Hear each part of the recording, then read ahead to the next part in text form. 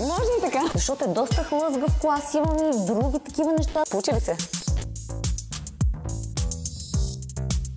Здравейте, приятели! Нова година, нов късмет, нов апартамент и изцяло нов интериорен дизайн. Днешният брой на лично и практично е посветено само и единствено на хората, изтеглили късмета от баницата.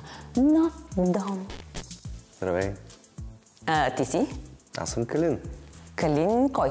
архитекта, създател на това пространство.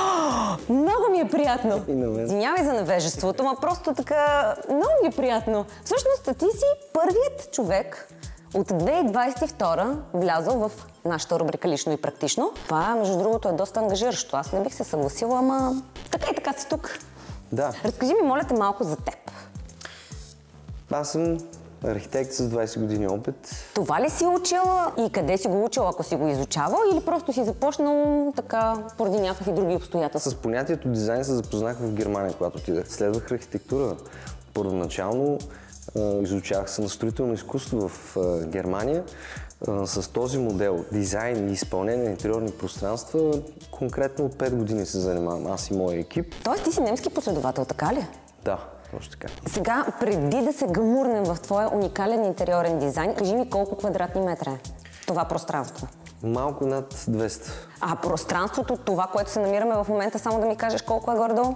Значи намираме се в момента всекидневна с кухненска част. Тук сме близо 80 квадрата. Точно колкото къщата ми. Айде да се гмуркаме. И ето ни тук Да. на едно местенце. Спасителния остров. Спасителен остров. Мултифункционален остров. На любовта обаче, не на самотата. Но се поплува на тях. И да посрещнеш гостите си. Една от последните тенденции, които се забелязват в интериорния дизайн е именно миксирането на тези функции. Имаме а, изведен контакт, имаме микровълнова. Това ли е изведен контакт? Да. Само да демонстрирам. Ето, цак. Тук е микровълновата, за който има нужда. Ето тук са и шкафчетата и разбира се столчетата, където можем да поканим нашите гости да седнат и да се нахранят. Да. Като гледам, това не е класическа кухня. Не е класическа кухня и точно тук е момента, в който искам да подчертая, ние като дизайн екип не се стараем да унифицираме всеки един дизайн, който произвеждаме. Тоест, ние не се стараем да обличаме нашите клиенти по един и същи начин, а напротив да откликнем на индивидуалните потребности и нужди. На кухнята се гледа като една машина за работа. Това е първото най-важно условие. И след това вече идват техническите, а т.е. естетическите изисквания към нея. Да. Така че ако се обърнат тия неща, могат да се случат много фрапантни грешки. Така че първо я гледаме като функционалност. Има си а, железни правила в стандартизацията на разстоянията, височините и всичко останало. Цялото нещо по поръчка ли е направено? Първо това да попитам. Абсолютно да. И от какъв материал? Ето, примерно, тези плоскости тук, какъв материал са? Значи тук пак бих върнал темата към а, концептуалната първопричина на Да. всяко едно изделие. И трябва да се разграничат а, неща, които наистина а, си заслужават да бъдат изработени индивидуално и такива, които могат да се вземат като готови изделия. Тук ми прави... Чакай, че така съм с гръб. Така, как да го направим? Тук имаме декоративна мазилка, която като свойства позволява тя да се мокри и при съответно цапане лесно да се почиства. Така ли? Тоест, можеш ли да ми гарантираш лесно почистване? Абсолютно. Да пробвам ли? Айде. Чакай да видя с какво да изцапам сега. Я да видя сега. Най-малкото ще напръскам с вода, да знаеш. Ей, сега ще си взема една хартийка, да видя дали бързо и лесно изсъхва. Вярно изсъхва? Тук за теб, тъй като вече разгледахме нашата страхотна кухня, не, може би не обърнахме внимание на лампата.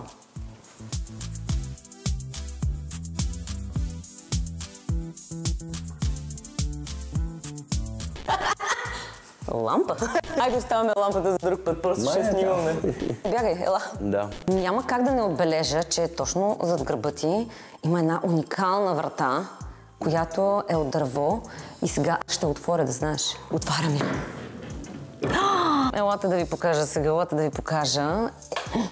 Светна ми. Уважаеми зрители, намираме се на уникално място. Това тук е хранилището или пък по друг начин наказано кухненски килер. Еми, аз разгледах, порових малко. На мен много ми харесва, между другото. И затваряме кутията на Пандора, но нищо не ми каза за вратата.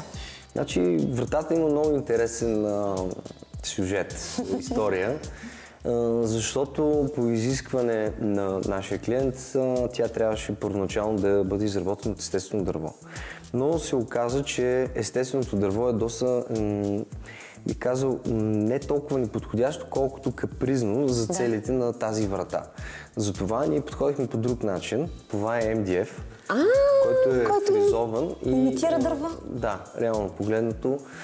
Така по този начин спечелихме много от гледна точка на улекотяването на самата врата и всички тези детайли са индивидуално разработени като стопер, с което много се гордеем. Тази библиотека е духовното сърце на всекидневната. Освен, че приютява така, доста а, любими предмети, книги, тя е естетически отново се вписва в концепцията. Тоест, пак да кажем за нашите зрители. Ето, тези детайли, които виждате навсякъде, те са тип индустриален дизайн.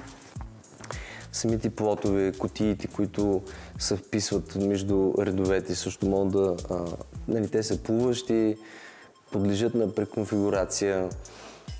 Дръжките отново, ето го момент Да. с любимите дръжки. Точно така. Имаме пресован шперплат също така, който някои не го долюбват много като материал, но ако се подходи а, с разбиране Да. към него, а именно ако се заложи на правилното място, защото има позиции, в които той е крайно неподходящ, но има и за такива, които е просто незаменим. И тази натуралност, която има също така и в стената отзад, на която ляга цялата етажера. Точно така. Метал, дърво и Тухла. тухла. Обаче има един недостатък, според мен. Какъв е той? И ми аз съм 1,58. Но и 60 исках да кажа, да е. А, как да си взема, примерно, любимата книга? Ето тази тук. Почти я стигам, но Момент, имаме не решение. мога. Заповядай. Така, за всичко си помислил. Добре, добре. Пробваме. Да видим. Ако ми издържи, значи добре сте се справил. Охо! Чудесно. Ето е любимата книга, взимам си я и слизам. Оф, Калин, много ми харесва тук. Но, Радвам се. но най-много от всичко ми харесва ето този диван. Защо за Бога ви интериорните дизайнери правите такива цветови решения на сивото, на черното изведнъж избухваме с едно жълто и направо ми залепва всичко. Аз обожавам жълто. На тема композиция ние изхождаме от факта какво имаме като основен цвят, основна тематика. Това са ни тези 60% присъствие като, като фон. Да. Да кажем, в случая имаме бели стени. След това отиваме към 30% присъствие и видимо, осезаемо е а, тъмният цвят, а, метал. И тук идваме тия 10%, които реално са и сърцето. Това е акцентът, който винаги трябва да го има, защото това е и обежната точка при съзерцаването, при възприемането на каквото и да е. В случая говорим за интериорно пространство. Да. И именно тези 10% са засегнати и тук. Не само конкретно като жълто, но би го нарекал като топло. Ими добре, аз мисля, че добре ни се получиха нещата днес. Ти какво ще кажеш по въпроса? Да, Ще може ли още веднъж да покажем някой друг твой интериорен дизайн? за мен ще е чест. И за нас също. Еми тогава до следващия път. До следващия път. Речено сторено. Да, абсолютно.